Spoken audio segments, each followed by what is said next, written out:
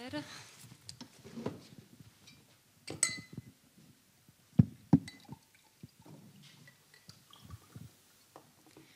Večer, takže krátce předtím, než eh, přijde hlavního z Polska, tedy Vojčech Kůčok, bych se ho dovolila představit.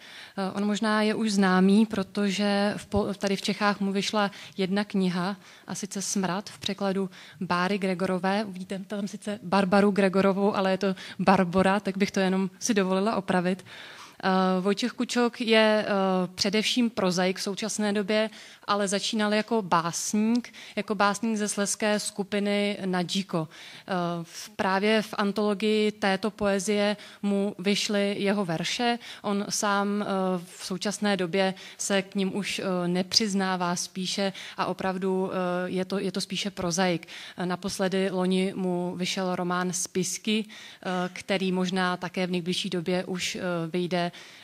v češtině, protože tenhle ten překlad je přece jenom už starší. Sám autor říkal, že zrovna ten fragment, který dnes bude číst, že už to bude snad eh, desáté výročí toho, kdy ho čte, takže se těší na to, až bude v češtině něco nového a on bude moct přečíst i to.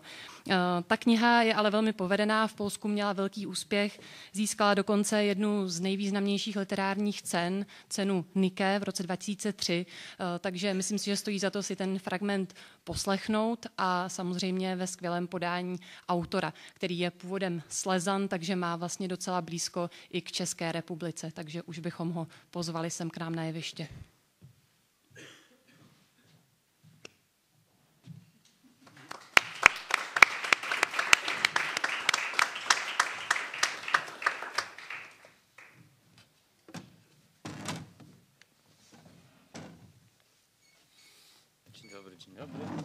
Bardzo się cieszę, że tak dużo przyszło ludzi dzisiaj, naprawdę. Dobrý den, jsem velmi rád, že dnes přišlo tolik lidí. Co mam teraz robić? Czytać już od razu? Ano, tak. A to już y, powiedziałaś, że tak z tym jeżdżę od tylu lat? Ano, řekla jsem, že už jezdí s tou knížkou velmi dlouho. No tak, no bo jak dałem wolną rękę mm, w wyborze fragmentu, to okazało się, że został wybrany ten, który e, jest najczęściej wybierany, no ale spróbuję go jakoś teraz e, wyobrazić sobie, że czytam go po raz pierwszy. Když jsem dal volnou ruku organizátorům a překladatelce, aby vybrala fragment, tak samozřejmě vybrala ten, který e, se čte nejčastěji, ale zkusím ho přečíst tak, jako by to bylo poprvé.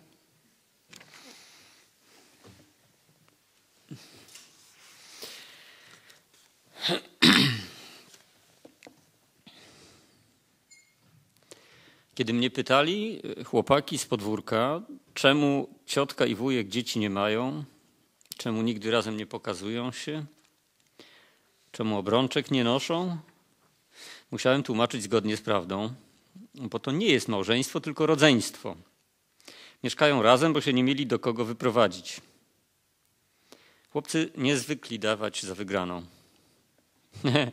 Kto ci taki kit wciska? Na pewno się dupcą, tylko starzy przed tobą ściemniają, bo za to się idzie do więzienia. Jak się brat z siostrą dupcy, to się rodzą potwory, mechagodzille. Trzeba mi było sprawdzić, kim tak naprawdę są dla siebie siostra i brat starego K. Mieszkali na swoim pięterku pod nami razem. Nigdy nie dociekałem, czy to nienaturalna sytuacja, Ciotka to była ciotka, wujek to był wujek, ona stara panna, on stary kawaler, ona przeorysza jednoosobowego zakonu. On, no właśnie, długo nie mogłem go rozgryźć. Naczelną cechą charakteryzującą brata starego K była oddziedziczona po ojcu niezauważalność. Bywało, że kiedy poszedłem po mleko albo miód do matki, idź no do ciotki, na pewno ma świeże, a mnie się dzisiaj nie chciało wstawać do sklepu. Kiedy czekałem, aż ciotka wygrzebie co trzeba z kredensu albo lodówki, stawałem w drzwiach na oścież otwartych i spozierałem na opustoszały pokój brata starego K, na wietrzącą się w przeciągu pościel, kopie renesansowych sztychów na ścianach, stołowy Biedermeier, zapadłe fotele. Aż nagle w tej pustce coś się poruszało. To on niespodziewanie przestawał być przezroczysty. Właśnie się stawał w moich oczach, przekładając nogę na drugie kolano, wydmuchując dym z papierosa. Można by rzec, że po dymie go poznawałem, że dym był bardziej wyraźny od niego. Zauważałem go więc i pytałem, zawsze brzmiało to wbrew mym intencjom jak wyrzut, to ty tu jesteś? A on nawet wtedy nie znajdował w sobie dość pewności, żeby swoje istnienie potwierdzić. Przejmował ode mnie zapytanie, sam je sobie zadawał w duchu. Czy ja tu jestem?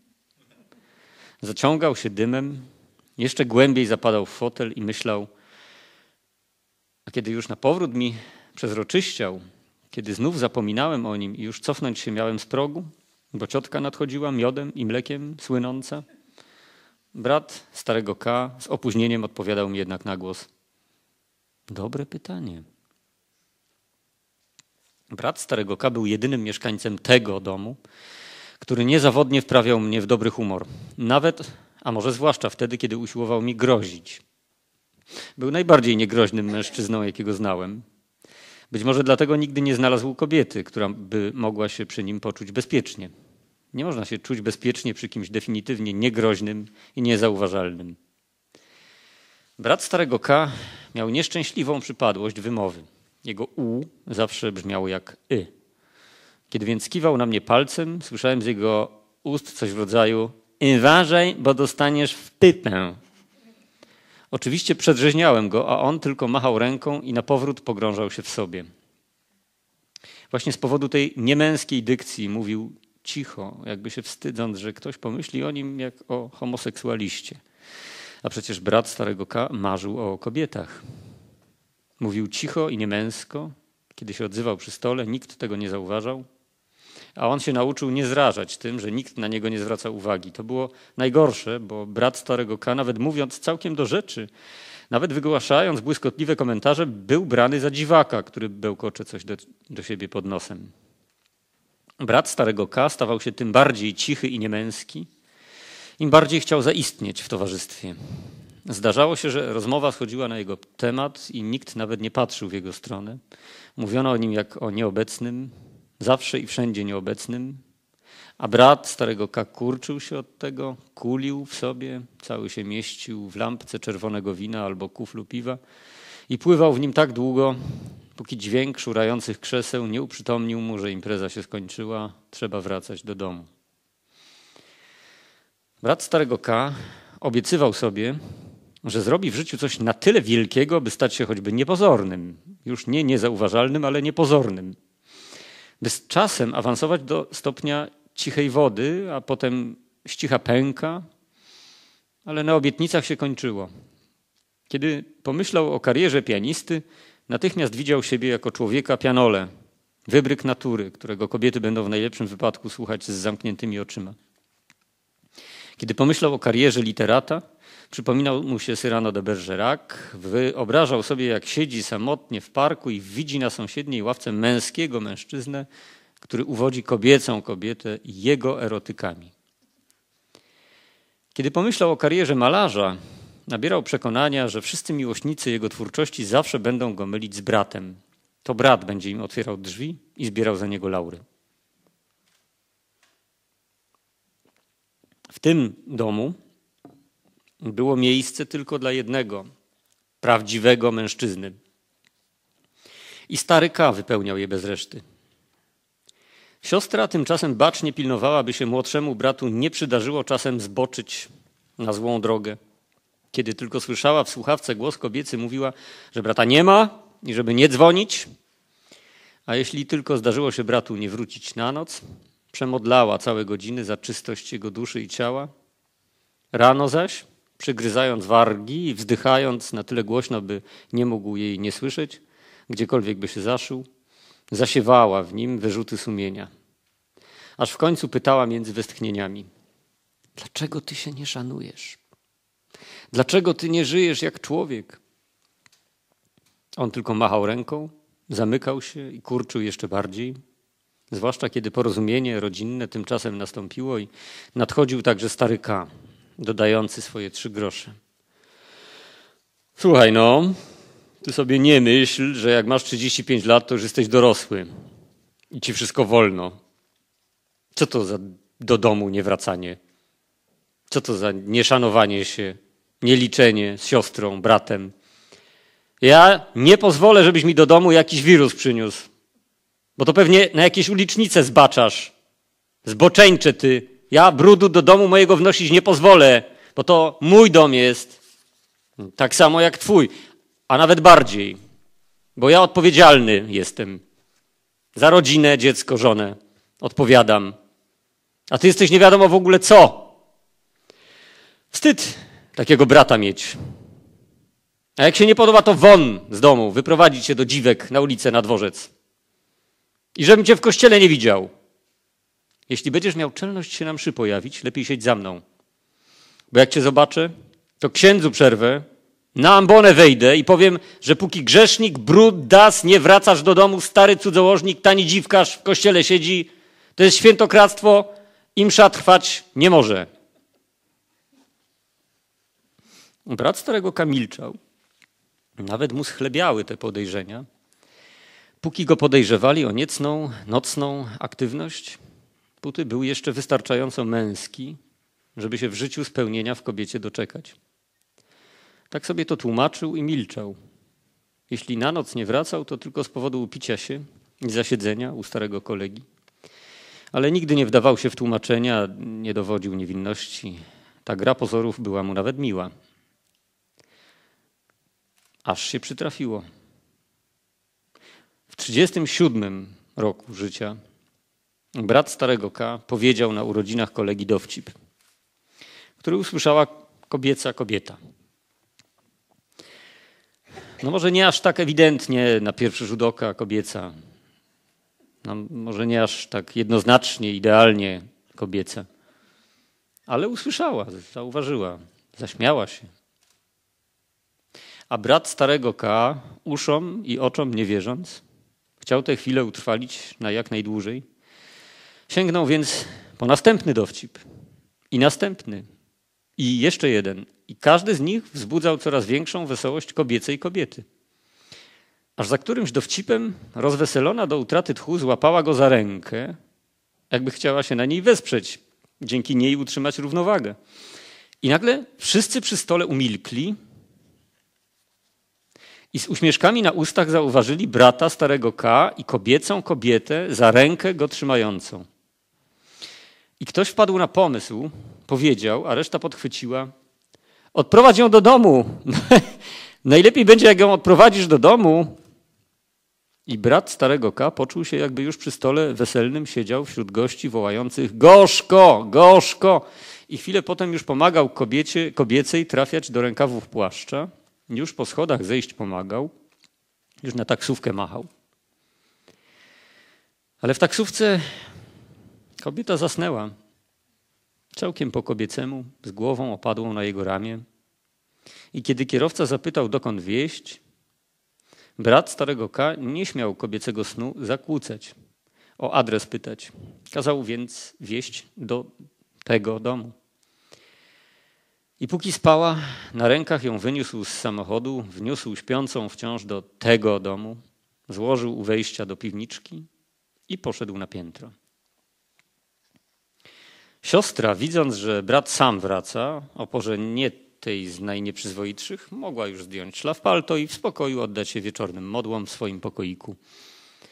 A wtedy brat, zamarkowawszy uprzednio drzwi zamknięcie, puścił się w skarpetkach samych, żeby było bezszelestnie, do piwniczki, wciąż nieprzytomną w snu objęciach kobiecą kobietę w swoje objęcia jawne ujął i wbiegł z nią po dwa stopnie niesiony pożądaniem z powrotem na pięterko do swojego pokoiku, do łóżka ją złożył i usiadł opodal w fotelu, dysząc z przejęcia. Klucz w drzwiach przekręcił i już miał zabierać się do zdejmowania kobiecych czułenek ze stóp kobiecych, kiedy na ów szczęk klucza siostra zaniepokojona, bo nie zwykł był się zamykać, przerwała modły i przyszła pod drzwi nasłuchiwać,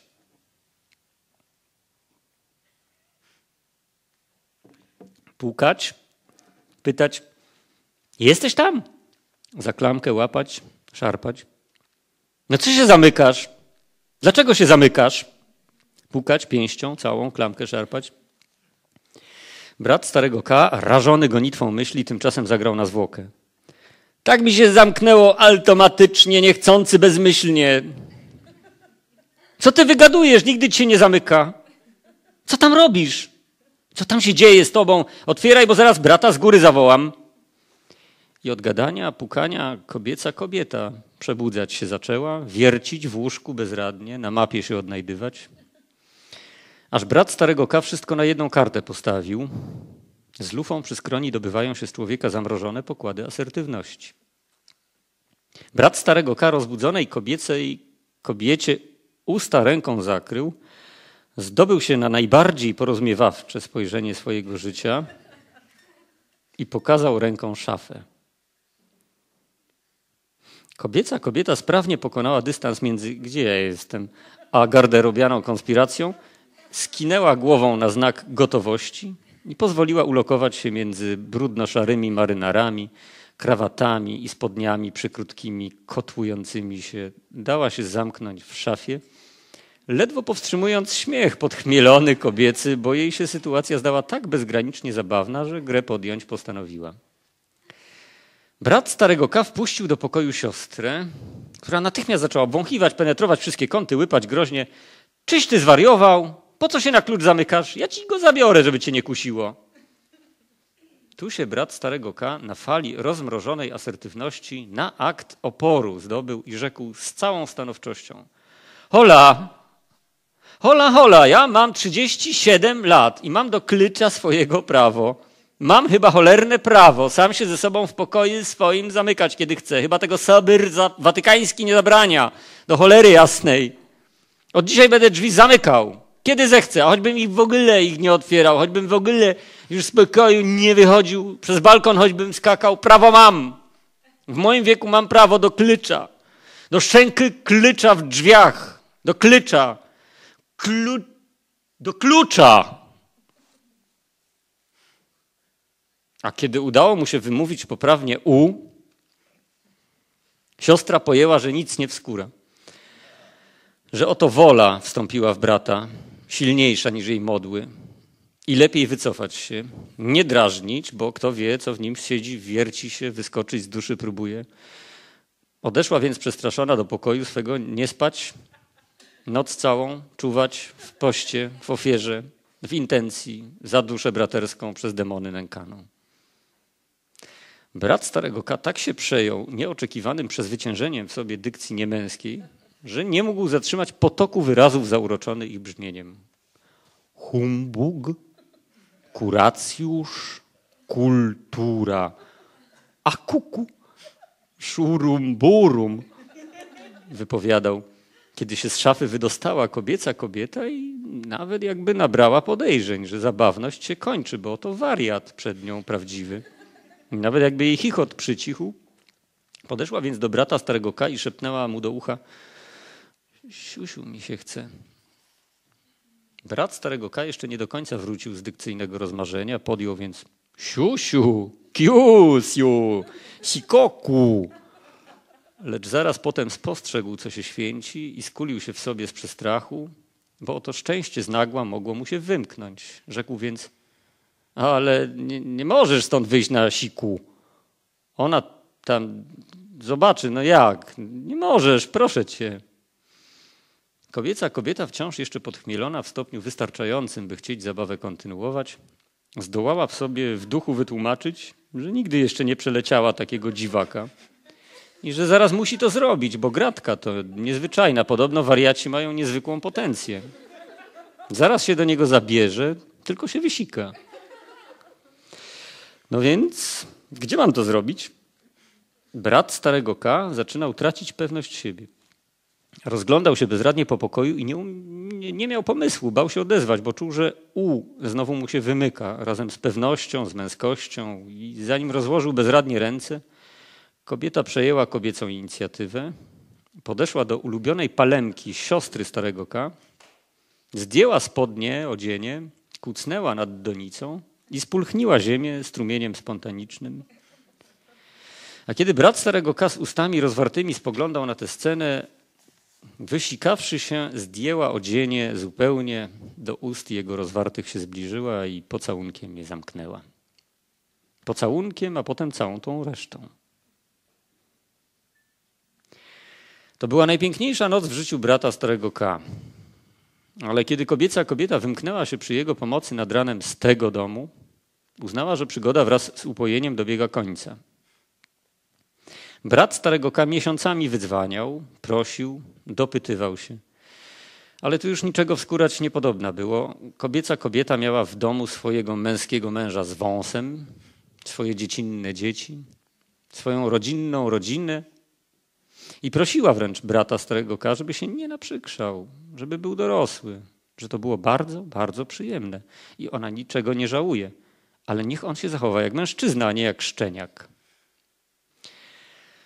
Brat starego K powrócił więc do swojego pokoju, zamykał się na klucz i usychał, patrząc na palmę usychającą. Palmę, która zroszona przez kobietę kobiecą też już zwykłej wody pić nie chciała. Też tęskniła do nocy tej jedynej. I tęskniąc tak, zdechła na śmierć.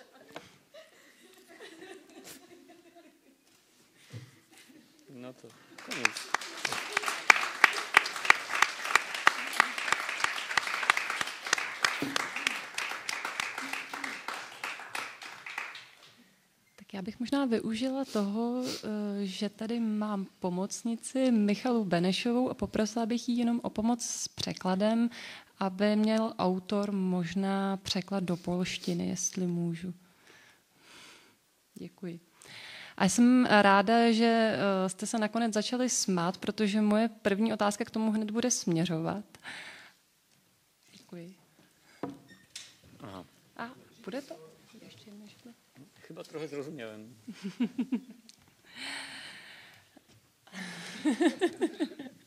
Takže děkuji, děkuji Míše Benešové, která za chvíli dostane židli možná. A uh, moje, moje první otázka by směřovala uh, právě uh, k tomu, o čem už jsem mluvila, to znamená uh, k fenoménu smíchu v literatuře. Tahle knížka vlastně není vůbec veselá. Pojednává o docela um, smutných věcech, o domácím násilí, o despotických rodičích nebo respektive otci, o poměrně nevydařeném začátku života jednoho malého chlapce, ale ten fragment, který Bára vybrala, tedy překladatelka, je vlastně docela veselý a všichni se smáli. Takže já bych jako první otázku položila autorovi, jaký je vlastně poměr toho smíchu a té vážnosti v téhle knize, proč tam je třeba tenhle zábavný fragment, jestli to má zlehčovat, jaká je vůbec funkce vlastně vtipu nebo smíchu v literatuře, to je vážné. Pomiar, słowo pomiar to jest stosunek, racja. E, no, ja wymyśliłem e, tę mikropowieść tak, żeby e, skoro ona traktuje o takiej straszliwej traumie przemocy, która się dokonuje na dziecku i skoro to dziecko jest narratorem, no to pomyślałem, że jedyny sposób, żeby, żeby y, sprawić, że ta książka y, w ogóle będzie się nadawała do czytania, to y, znaleźć taki język przesiąknięty ironią i jakimś gorzkim humorem jednak, który pozwala się zdystansować do tego piekła zarówno bohaterowi, jak i trochę czytelnikowi. Takže já jsem tenhle mikroromán, eh, který vlastně má toho hlavního hrdinu malého chlapce, který je vystavený tomu, tomu násilí, vymyslel tak, nebo skonstruoval tak, aby se vůbec eh, dal číst. Eh, tak je tam jazyk, který je prosáknutý takovou ironií, určitým černým humorem, aby vůbec byl pro čtenáře snesitelný. E, to, to, akurat ten fragment rzeczywiście najczęściej jest wybierany na takie publiczne prezentacje, bo on jest wyłącznie śmieszny. Tutaj e, ta tragedia tego domu jest gdzieś właściwie poza kadrem dla kogoś, kto nie zna książki, ledwie przeczuwana. No ale tutaj nie ma żadnego dramatu, może poza dramatem samotności nieokiełznanej, ale, ale e, tak naprawdę to jest jedyny w całości zabawny fragment tej książki, więc trochę on działa tak jako przynęta dla, dla e, czytelników, którzy sobie nie zdają sprawy, w co potem zabrną. A ten fragment, eh, jak už jsme zmínili, tedy eh, je vybíraný nejčastěji pro ta veřejná čtení, ale ve skutečnosti je to v zásadě jediný fragment z celé té knihy, eh, který není smutný nebo, nebo tragický. Možná právě proto je tak často vybíraný, protože to je určité lákadlo pro čtenáře, který si vůbec neumí představit, jak vypadá ten zbytek knihy, který je vlastně smutný. E, ale wiem, że mimo tego, że w olbrzymiej ilości recenzji i omówień tak, e, tej książki był podkreślany właśnie e, jej bardzo specyficzny, gorzki, ale intensywny humor i taka mm, ironia, która no, powoduje, że to nie jest reportaż z jakiegoś piekła, tylko coś więcej, to, to, to, bardzo wielu ludzi odmówiło lektury z uwagi na temat, tak? no bo w jednym zdaniu e, streszczenie tej książki no to jest powieść o dziecku, które było maltretowane fizycznie i psychicznie również przez swojego ojca. E, ja się sam nie dziwię, myślę, że gdyby, mm, gdybym ja się miał kierować jakimiś swoimi, swoją wrażliwością, też pewnie miałbym opory przed sięgnięciem po książkę czy po film, który traktuje o przemocy dokonującej się na dziecku. A, takže v, tě, v řadě recenzí bylo právě uh, podtrháváno nebo zdůrazňováno to, že uh, ta kniha je plná takové ironie velmi specifického uh, hořkého černého humoru, uh, a právě možná díky tomu si ji někteří čtenáři vybrali, protože kdybychom měli obsah té knihy eh, schrnout v jedné větě, tak by to opravdu bylo tak, že to je eh, o dítěti, které je vystaveno násilí, jak fyzickému, tak psychickému. Eh, a já sám musím přiznat, že takovou knihu nebo takový film bych si, bych si nikdy nevybral, který je opravdu zaměřený jenom na tohle téma. Znaczy musiałbym być długo przekonywany, że rzecz jest podana w tak kunsztowny sposób albo, no wiem, tak prze, przetworzona y, twórczo, literacko, że, że, że można to bez bólu zobaczyć albo przeczytać. Musel bych to mít právě ten komentář té recenze, kde, který mě přesvědčil o tom, že opravdu to téma je pojaté tak zvláštním literárním způsobem uměleckým, že stojí za to o něčem takovém číst. E, a w tej książce y, no, humor, który właściwie się pojawia y, w pewnym momencie i im bliżej końca, tym jest go więcej, no, wynika z tego, że E, ta relacja w pewnym sensie jest e, mm, taką retrospekcją już opowiadaną poniekąd z zaświatów że bohater e, no właściwie odtwarza to, co się w nim, w jego psychice dokonywało wtedy, kiedy dojrzewał w tej atmosferze tego piekielnego domu. Na początku jako małe dziecko mm, czuł się totalnie zastroszony i bezradny wobec tego wielkiego demona, jakim był ojciec, a potem stopniowo odkrywał jego słabość, jego groteskowość i, e, i zaczął go wyśmiewać. Im bliżej końca tej książki, tym, tym więcej jest parodii i takiej e, karykatury i takiego właśnie ironicznego tonu. Czyli to piekło staje się, ono się poddaje, podlega wyśmianiu. Już nie jest takie straszne, jak było na początku. Ten humor se tedy v té knize stupňuje um, nejvíce jeho ke konci a je to právě z toho důvodu, že ten román je vyprávěný jaksi uh, ze zásvětí nebo s určitým odstupem. Uh, to znamená, že ten uh, vypravěč vlastně vzpomíná na to, co se mu dělo jako malému chlapci a takhle z toho odstupu se tomu může smát. Nejdřív pro něj byl otec jakýmsi démonem strašným, který ho trápil a postupně objevoval jeho slabé stránky a začíná začíná se mu vysmívat a proto čím eh, se ten román blíží víc konci, tím je tam více té ironie a více toho humoru právě z toho důvodu, že to je to retrospektivní vzpomínání. Eh, já bych možná navázala eh, druhou otázkou, která eh, už tady byla trochu zmíněna, ale možná ji jenom můžeme zopakovat. Ta kniha byla sfilmovaná a na scénáři se právě podílel i sám Vojtek Kučok. A moje otázka by tedy zněla, jakým způsobem se román předělává na film. Mhm. Właśnie tego nigdy nie zrobiłem tak naprawdę, bo pisałem jednocześnie tę powieść i scenariusz filmu.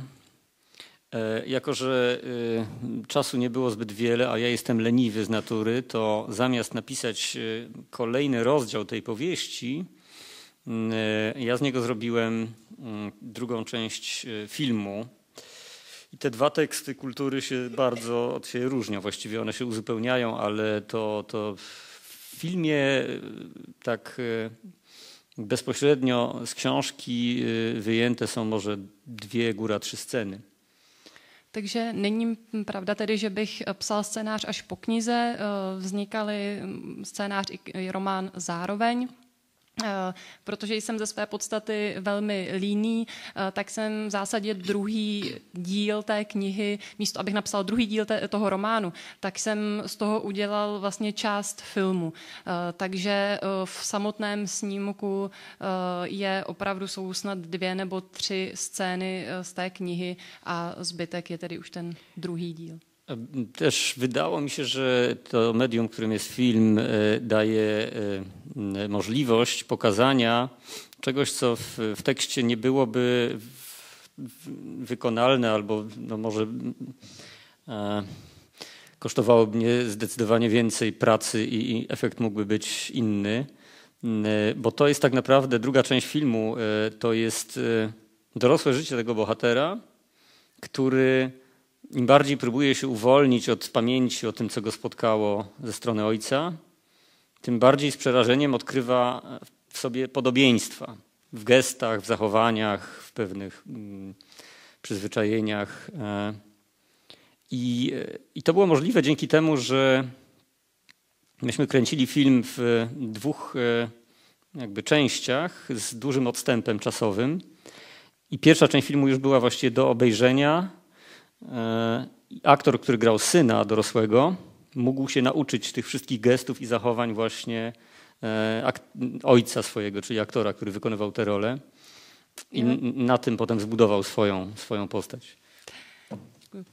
Eh, tak eh, především je tedy potřeba zdůraznit, jsou to úplně jiná média, literatura a film. Ve filmu jsem mohl ukázat to, co bych v knize eh, nikdy, nikdy nemohl.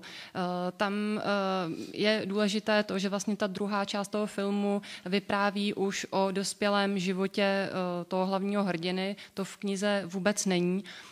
A bylo to možné i díky tomu, že ta první část filmu vznikala nejdříve a potom vlastně herec mohl Eh, vidět zpětně a učit se gesta eh, vlastně z té první části toho otce, protože on v sobě postupně, eh, jak se snaží osvobodit od minulosti, objevuje podobnost s otcem. A právě ve filmu se to mohlo ukázat tím způsobem, že on se vlastně podíval na tu první část toho filmu a učil se vlastně i, i ta gesta nebo mm, slova oblíbená toho, toho svého otce a potom to vlastně v té druhé části v zásadě Jest, jest no, producentem naszego filmu i w ogóle wszystkich moich, e, znaczy dwóch filmów, które zrobiliśmy i trzeciego, który teraz będzie e, realizowany w duecie, z, moich filmów w duecie z Magdą Piekosz, czyli jej filmów, do których ja piszę scenariusz.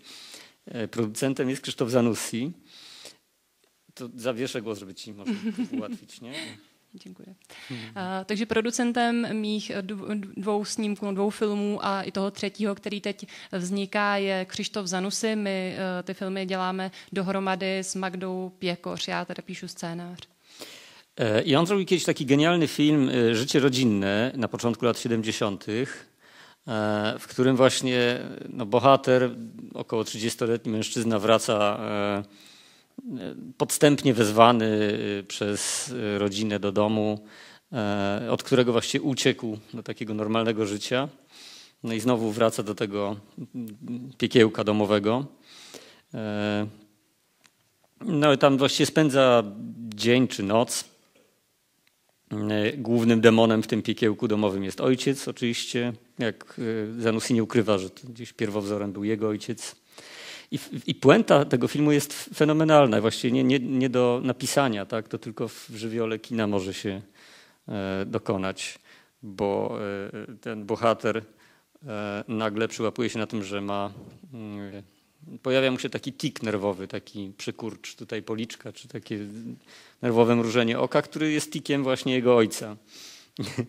I, I ta scena mnie zainspirowała właśnie do napisania całego całej drugiej części Pręg, czyli tej filmowej wersji A právě, právě tedy producent těch filmů Krzysztof Zanusy, který je samozřejmě sám velmi známým polským režisérem, natočil v 60. letech film Rodinný život, který má vlastně podobné téma. Hrdina se vrací do svého rodného domu, ve kterém zažíval taky takové malé peklíčko a zase hlavním démonem toho, toho filmu a toho domu je, je otec.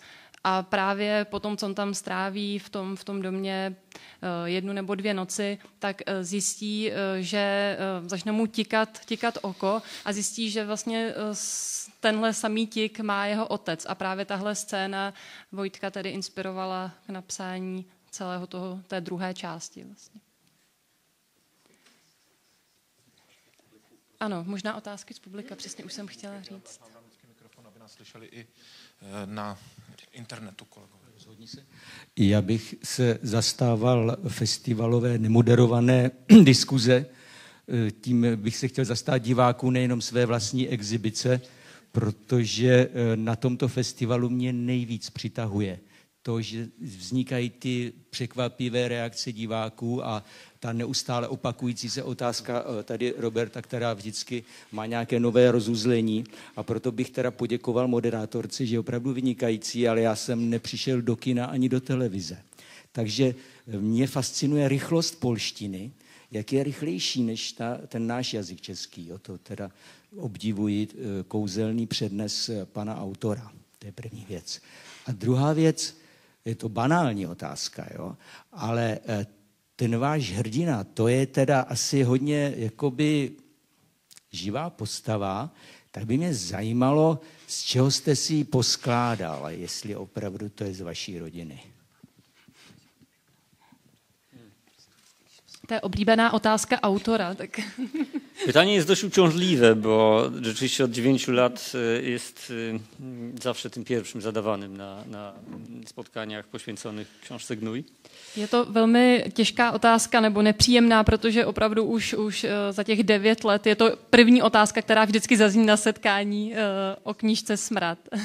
Za každým razem za każdym razem staram się wymyślać e, nową odpowiedź, żeby samemu się nie znudzić i, i żeby gdzieś jednak e, nie było takiej szeptanki między spotkaniami.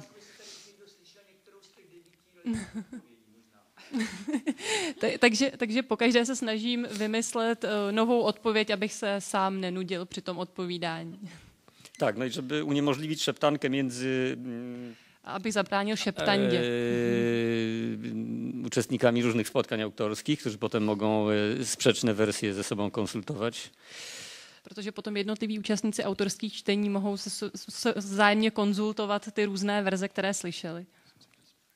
E, więc, dziś dla, więc dziś dla odmiany w Brnie powiem prawdę. Takže pro změnu v Brně řeknu pravdu. A prawda jest taka, e, jak pytanie, czyli w pewnym sensie banalna. E, A pravda je e, taková stejně jako otázka banální, prostá. A mianowicie, no, trudno jest wyobrazić sobie, żeby debiutancka powieść autora, który tam ma 20 parę lat, która jest pisana z tak silną emocją, była całkowicie wyimaginowana i od, odcięta, oddzielona od życia. E, myślę, że jakby tłumaczenia moje, e, jakobym wszystko wymyślił, byłyby od razu e, dowodem w sprawie. To znaczy wszyscy by stwierdzili, no tak, no tak się odżegnuje, że, że, że był bity, tak? Takže samozřejmě těžko si lze představit, že debit eh, románový eh, autora, kterému je něco přes 20, bude zcela vymyšlený, nebude tam nic z nějakých autobiografických prvků, eh, ale zároveň, když bych to popíral, tak si myslím, že to směřuje právě k tomu, že to bude použito jako důkaz proti mně, že se snažím zastřít to, že jsem byl bytý. Ale no, prawda jest banalna, ponieważ mm, zawsze najpierw e, autor korzysta z tego, co przeżyte, doświadczone, zaobserwowane, bo to jest e, właściwie mm, najłatwiejsze do wykorzystania literackiego. A potem, jak się skończą e, przeżycia i doświadczenia i wspomnienia, no to wyrusza w krainę wyobraźni i coraz trudniej jest mu pisać książki. Takže samozřejmě ta odpověď právě proto je jednoduchá, že každý autor na začátku využívá svoje vlastní zkušenosti, to, co zažil, viděl a teprve později, když už mu tahle ta témata docházejí, tak se vrhá do té fantazie a je pro něj stále těžší a těžší psát knihy. Natomiast to, co jest najbardziej fascynujące, myślę, i co mnie też z perspektywy czasu w tej książce, w tym geście literackim ujmuje, to to, że to faktycznie miała być, e, miał być rodzaj gry z ojcem, zwrócenia uwagi na jego mm, takie filisterskie cechy, których ja w nim nie lubiłem i które postanowiłem bardzo wyolbrzymić e, i właśnie napisać taką jego karykaturę i taką hiperbolę, którą on sam mógłby się przestraszyć. Ale na té knize se mi vždycky nejvíc líbilo, nebo nejvíc mě dojímalo to, že vznikla opravdu jako obraz uh, otce, ale jako určitá karikatura. Zkrátka jsem přehnal všechno, co se mi na něm nelíbilo, to jeho měšťáctví a pokusil jsem se tedy udělat takový přehnaný obraz, v kterým, v kterém se on sám mohl nalézt a třeba se ho sám vystrašit. No jako, że wtedy tematem bardzo gorącym społecznie w Polsce była przemoc w rodzinie, jakby zastanawianie się nad tym, jak prawnie uregulować kwestię bicia dzieci, czy, czy wolno, czy nie, no to jakby stworzyłem tutaj taką figurę właśnie z rekwizytem w postaci Page'a i, i, i, całą tę przemoc, y, która się dokonuje tutaj wprost, y, po to, żeby, no, żeby wywołać taki z jednej strony ferment rodzinny, z nadzieją na to, że wszyscy się na mnie oburzą i uznają, że jestem czarną owcą, a z drugiej strony, żeby gdzieś e, e, no, wpisać się e, w dyskusję ogólnospołeczną. Takže uh, tam byly takové dva motivy. Uh, první z nich je ten, že uh, v Polsku v té době se právě hodně mluvilo o tom, jakým způsobem ošetřit právě násilí rodinné, to znamená, jestli to má být nějak trestné bytí dětí nebo ne, jakým způsobem tohle to řešit. Takže jsem se rozhodl to použít, ale také z toho důvodu, že jsem chtěl tak trochu Eh, řekněme si, no, být černou ovcí v rodině, eh, to znamená, aby se na mě všichni urazili a eh, trošku se, se mě zřekli, takže byly tam tyhle, ty, tyhle ty dva motivy, jeden takový jakoby společenský a druhý tedy trošku pošťouchnout rodinu. E tak, no bo chciałem mieć tę satysfakcję, kiedy mój ojciec będzie oburzony, tłumaczył wszystkim, no przecież on mnie nigdy nie bił. Ale co się stało? Książka dość szybko odniosła duży sukces.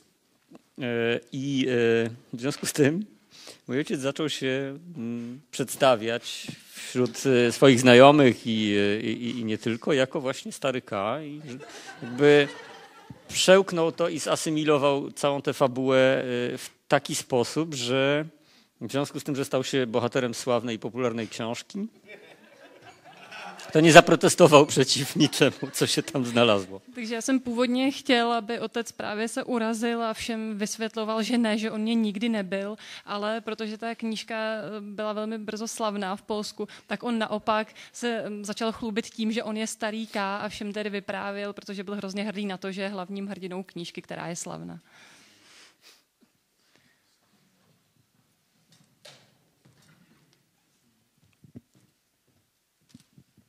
Dobrý večer. Jak když jsem si přečetl dvě knížky, které vyšly k letošnímu katalogu, tak na jedné straně jsem rád, že prostor tohoto festivalu je prostor bez cenzury už celých 12 let, což by mohlo se zdát mnoha lidem normální. A moje zkušenost je taková, že u nás na Moravě to vždycky normální není. Takže tímto ještě jednou děkuji pořadatelům, že mohu se ptát i na věci, kde otázka bývá některým lidem nepohodlná. A chtěl bych se zeptat na to, co v těch knížkách někdy se tolik nedočtete, že ve sčítání v roce 1991 v cenzu dvě třetiny lidí v Brně se hlásili k moravskému národu, i když mnoho lidí tvrdí, že nic takového není. A chci se zeptat, jaký k němu máte vztah? A taky uh, obdobná otázka, uh, co uh, vy a Slesko, sleský národ, sleská literatura. Včera jsem se ptal, jestli by uh, pan básník nám mohl uh, říct jména třeba lidí ze Slezska, ale myslel jsem polské Slezsko, tu jeho polskou část, protože pak je ještě malá část v Německu a část je u nás tak v té vaší polské části Slezska na lidi, kteří psali dialektem, ať už slovanským nebo německým a možná taky bych se zeptal, protože tady těch lidí ze Slezska tolik nebude, jak je to se stereotypy, jestli třeba se vykládají ve Slezsku vtipy o lidech z Mazovska nebo z Velkopolska a jestli ty stereotypy se týkají jenom těch sousedních zemí, jako je Velkopolsko, Malopolsko, nebo jestli přesahují dál, jestli se třeba u vás vykládají vtipy o pomořanech a podobně. Děkuji.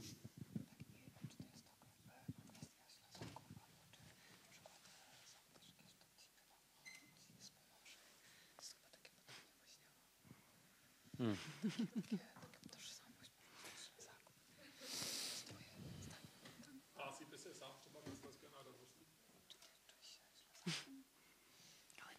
Nie, no jestem oczywiście Ślązakiem, ale nie wydaje mi się, że było, było coś takiego jak narodowość śląska, ponieważ narodowość. Yy, yy, yy, ja w ogóle jestem. Ja, słowo naród zostało tak y, mi obrzydzone przez rządy y, PiSu w Polsce, że ja i słowo narodowość, że już jestem naprawdę, jak, jak to słyszę, to mi się wszystkie dzwonki alarmowe pojawiają i jestem Ślązakiem, ale naród śląski jest kategorią stworzoną przez polityków i oni sobie tam y, teraz się prze, przepychają między sobą, czy, czy istnieje coś takiego, czy nie I, i, i ja jako Ślązak nie chcę mieć z tym nic wspólnego. Takže já se cítím být slezanem, ale nemyslím si, že existuje něco jako sleský národ. Obecně pojem národ mi, mi není sympatický a znechutila mi ho um, politická strana Právo a spravedlnost polská, která je taková pravicová. A myslím si, že je to tady spíš politická kategorie, že je vnucená právě politiky, že oni se hádají, jestli existuje sleský národ nebo ne. Já se prostě cítím být slezanem, ale sleský národ, to mi nic neříká. Znaczy bardzo bym chciał móc być patriotą, jednocześnie nie będąc nacjonalistą, tak? ale nie wiem, czy to jest w tym dyskursie prawicowym w ogóle możliwe. Chtěl bych být vlastencem, ale nebýt nacionalistą a nevím, jestli to v tom pravicovém diskursu je možné. E, ale rzeczywiście w tych moich książkach e, tak naprawdę wygrywam cały czas regionalizmy. Zupełnie nie wiem, jak to się dzieje, e, ale może przede wszystkim ze względu na żywioł języka i dialektów, który zarówno w Śląszczyźnie, jak i w Góralszczyźnie pozwala mi e, e, eksplorować takie rejestry języka polskiego, które są, no nie wiem, nieoczywiste, nie, niecodzienne i które stwarzają, e, które otwierają nowe pole dla pewnych takich gier lingwistycznych, tak bym to powiedział. V mojich knihách je hodně regionalismu, ale ty regionalismy jsou spíše jazykové. V knize Smrad je to sleské nářečí, právě v té nové knize Spisky to je horalské nářečí, ale opravdu jde spíš o takové lingvistické jazykové hry, o polštinu, která není každodenní, obvyklá, ale o takové no, o nová slova, neologizmy. No oczywiście mm, dla mnie, bo w niemieckim jest to rozróżnienie między Heimatem i Vaterlandem. Mi się to bardzo podoba i w Polsce mi brakuje tego, tego, tych dwóch osobnych słów. Bo jest, od razu jest albo ojczyzna i mała ojczyzna, czyli jest jakieś takie zakamuflowane wartościowanie w tym. A czemu ta mała nie miałaby być tą największą? No ja ra, raczej jestem bardziej przywiązany do tego właśnie swojego e, e, najbliższego, e, e, e tej, tej macierzyzny mojej e, a nie, nie myślę tak e, bardzo całościowo Polska, bo to jakby od razu mi się dzieli ekran na kilkadziesiąt takich małych kwadracików, jak, jak, jak myślę Polska. Jak myślę Śląsk, to mam taki jeden ekranik i wiem, o czym myślę, nie? albo jak myślę Tatry. Mně se líbí, že v Němčině mají dva pojmy Heimat a Vaterland. To mi v polštině chybí. Polštině se mluví o vlasti a takzvané malé vlasti, ale v tom už je nějaké hodnocení. Proč by jakoby ta naše, ta, ten rodný kus naší země měl být malý, proč by ta malá vlast nemohla být ta největší. Já se přiznám, že nejsem schopný myslet nebo přemýšlet o celém Polsku, o Polsku jako celku, jakmile si řeknu Polsko, tak se mi ta obrazovka dělí na spoustu malých políček. Když si řeknu Slesko, tak je to jednolitá, jednolitý obraz, takže já jsem opravdu zabydlený spíš v té malé části, ne, nejsem schopný vnímat Polsko jako celek. E, no i zdecydowanie tak, jestem pisarzem śląskim pewnie. E, w związku z tym dzwonią do mnie, jak się w kopalni wydarzy jakaś katastrofa. Z telewizji e, zawsze mają tych paru Ślązaków. Śląski reżyser Kazimierz Kut, śląski pisarz, jeszcze śląski jakiś malarz. Zawsze pytają, co, Raz się dałem, raz się zgodziłem, już więcej się nie zgodzę, bo to potem jest takie bardzo groteskowe, że jest jakiś, jakieś adagio tam w tle mm, żałobne i, i trzeba mówić, że tak, że oni idą tam po prostu na rzeź pod ziemię codziennie i te, te kobiety czekają na nich, te, te białe obrusy, te, te, te dym, parujące rosoły, a tu nagle Nie, no właśnie to było takie żenujące, że e, dopóki e, Kaczyński nie palnął, że Ślązacy to są zakamuflowani Niemcy, to e, zainteresowanie Śląskiem w Polsce wzbudzały tylko jakieś katastrofy w kopalniach albo jak się zawalił strop w jakiejś hali. Żadnych pozytywnych nie było tutaj impulsów. Takže eh, určitě jsem sleský spisovatel a projevuje se to nejvíc tím, že jakmile se stane nějaké neštěstí v dolech, eh, tak eh, mi hned volá, volají ze, slesk, ze televize polské a chtějí k tomu nějaké vyjádření. Většinou volají ještě režisérovi Kucovi a to je tak velmi známý režisér, případně ještě nějakému sleskému malíři a vždycky chtějí to vyjádření. Vzadu tam hraje nějaké, na pozadí nějaké adagio a je tam velmi smutná atmosféra atmosféra. Já musím uh, říkat, ano, ano, mají opravdu horníci velmi těžký život, musí každý den jít na smrt uh, pod zem a doma na ně čekají ty ženy s, s, s těmi bílými ubrusy a s tou kouřící polévkou a je to teda opravdu těžké, ale je to taková groteska, že, že už opravdu, uh, opravdu to nechci podstupovat. Slesko je právě známe především tím, kromě toho, když Kačinský jednou jednou řekl, že eh, slezané eh, to jsou zakamuflovaní Němci. To je ještě druhá známá věc o Slesku. A właśnie dzisiaj jest w moim mieście rodzinnym, w Chorzowie. Jestem bardzo ciekaw, jak zostanie powitany. Słyszałem, że szykują mu koszulki z, z, z takim rysunkiem kartofla, właśnie, że zakamuflowany kartofel. I e, nie wiem, czy to przyjmie, bo obawiam się, że ludzie resentymentu mają kłopot z poczuciem humoru jednak. A Kačinský je právě dnes v mém rodném městě, v městě v Chořově eh, a eh, lidé mu tam právě chystají taková trička s bramborou, že on je zakamuflovaná brambora, k tomu je Kačinský k bramboře někdy přirovnávám, tak proto, eh, ale trochu se bojím, že, že nemá úplně smysl pro humor, pro takovéhle vtipy.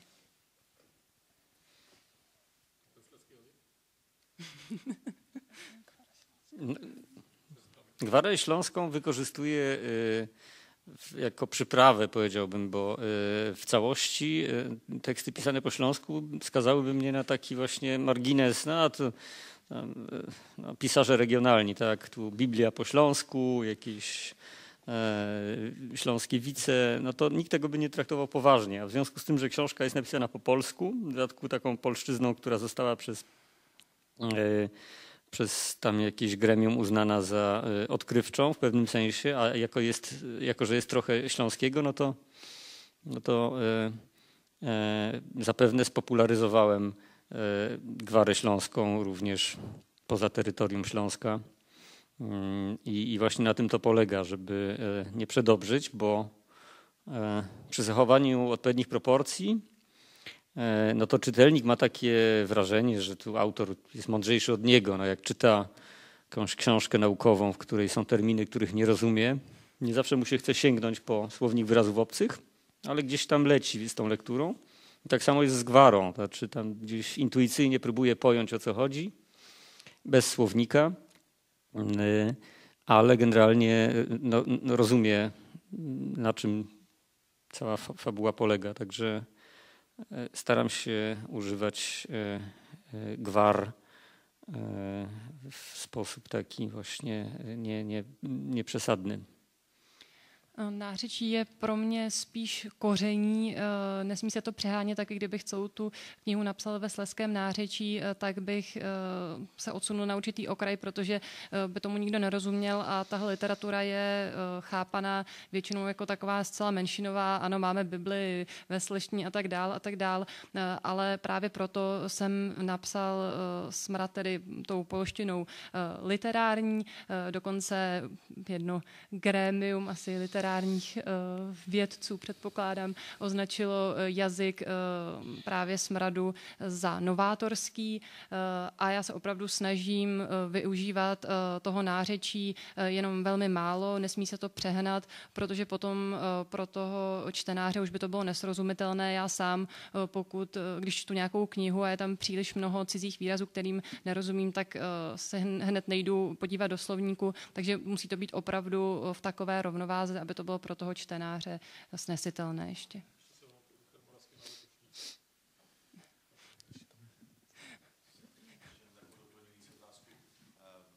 Myslím, že to nebude třeba eh, váš oblíbený eh, český básník nebo spisovatel. Hmm. No, y, ostatnio to Szkworecki, ponieważ się ukazał, Jezus, to jest Czech czy Słowak? Czech, nie? Czech. Y, bo się ukazał w Polsce świetny przekład tych y, przypadków inżyniera ludzkich dusz, ale ja już go czytałem na początku lat 90. w literaturze na świecie, gdzie były fajne przekłady, był i tam fragment Batalionu Czołgu. Właściwie wszystkie jego powieści były we fragmentach tłumaczone. No i to jest autor, który mi ostatnio sprawia największą uciechę, chociaż jak sądzę, on jest już takim żywym klasykiem tutaj w Czechach, więc żadna, żadna ta nowość, no ale e, zbyt głośna samotność Hrabala była dla mnie jedną z najważniejszych lektur w ogóle e, pierwszej trzydziestki mojego życia. E, I, I, no jakby to nie są specjalnie odkrywcze tropy, ale jakbym się tak zastanowił, bo to bo, bo to Morawski Kras to jest mm, jeden z moich ulubionych rejonów i najbliższy z takich największych regionów e, krasowych europejskich.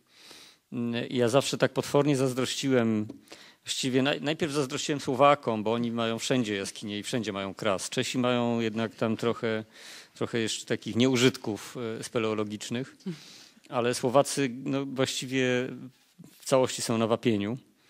E, natomiast no, przestałem zazdrościć Słowakom, jak pojechałem na Morawy, no bo tu e, no, wchodzi się do jednej jaskini, która ma 30 kilometrów i właściwie na całe życie wystarcza, a tych jaskiń jest tam obok siebie mnóstwo.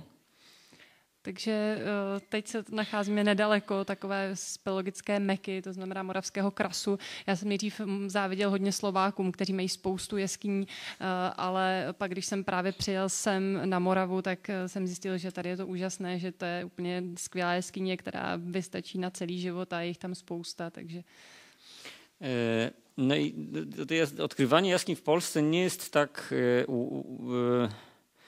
e, łatwe jak tutaj może, znaczy, no nie, jakby to powiedzieć. E, Objevovat jeskyně w mm. Polsku tady není tak jednoduché jako tady. Tutaj różnica między, co mnie zawsze fascynowało, między Słowakami, Czechami i, i Polakami jest taka, że my jesteśmy strasznie, no nie jesteśmy w stanie współpracować, tak? To znaczy jest mm, mm, odkrycie jaskiniowe w Polsce jest dokonywane zwykle przez pojedyncze osoby albo dwu, trzyosobowe zespoły, które, no nie wiem, gdzieś tam akurat wyniuchają jakiś problem, odkopią i, i odkrywają jaskinie.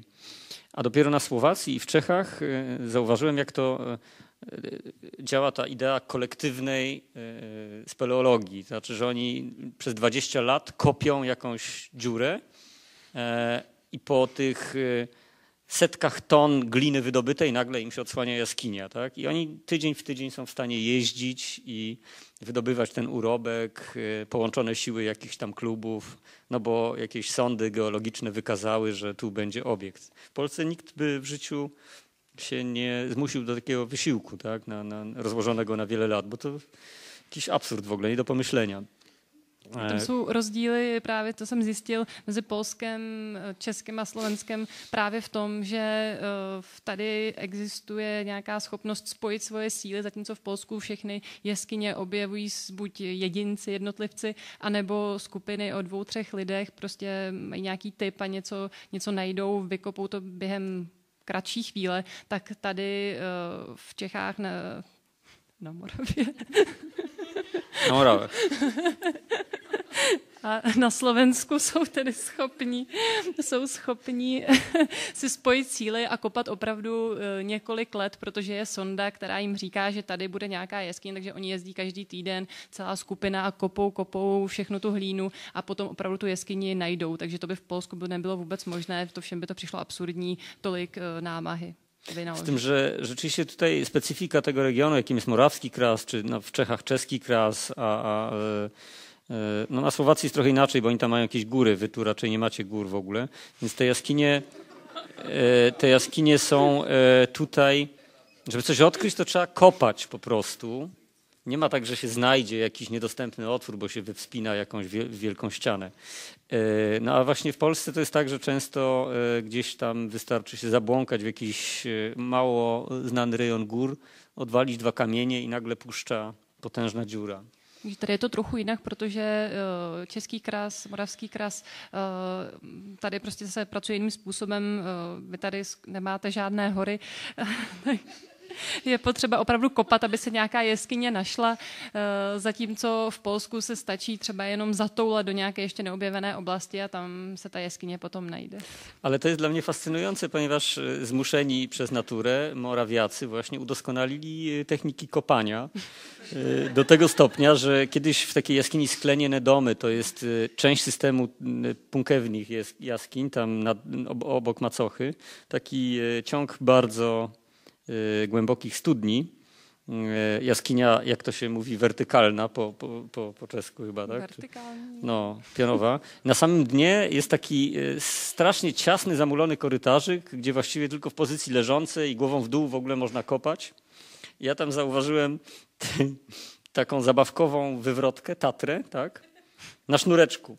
I po prostu i, i taką, taką małą łopatkę dziecięcą. I ktoś tam rzeczywiście w tej leżącej pozycji grzebał do, tego, do tej zabawki, a drugi grotołas to ciągnął i w ten sposób wydobywali urobek. Takže Moraváci zároveň díky tomu byli schopni opravdu objevit úplně neuvěřitelné techniky právě kopání těch jeskyň. Já jsem byl e, ve skleněné, skleněné domy, skleněné domy, skleněné domy což je u Macochy takový soubor punkevních jeskyní a tam je právě takové místo, už tak, taková chodbička, e, kde člověk opravdu, aby mohl kopat, tak musí ležet a takové divné pozici snad hlavou dolů a tam eh, byla taková dětská eh, hračka, auto, ta, taková ta Tatra, takže někdo a dětská lopatka a někdo tam opravdu tou lopatkou hrabal a někdo další tou, tahal tu Tatru na šňůrce a vytahával tam tak tu hlínu, takže na provázku.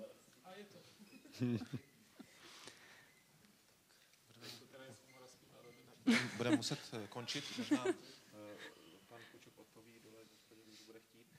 musíme skončit, protože chvíli eh, bude eh, další čtení pana Petra Repky. Eh, kdo bude chtít, tak přijde, budeme rádi. Teď bych poděkoval panu Kočukovi za moc příjemný večer a vám za to, že jste přišli.